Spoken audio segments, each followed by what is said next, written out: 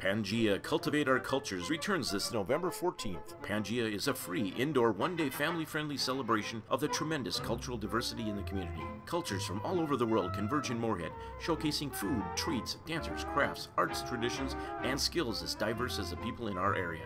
Groups and individuals perform throughout the day, and exhibitors share experiences and visions of their countries of origin.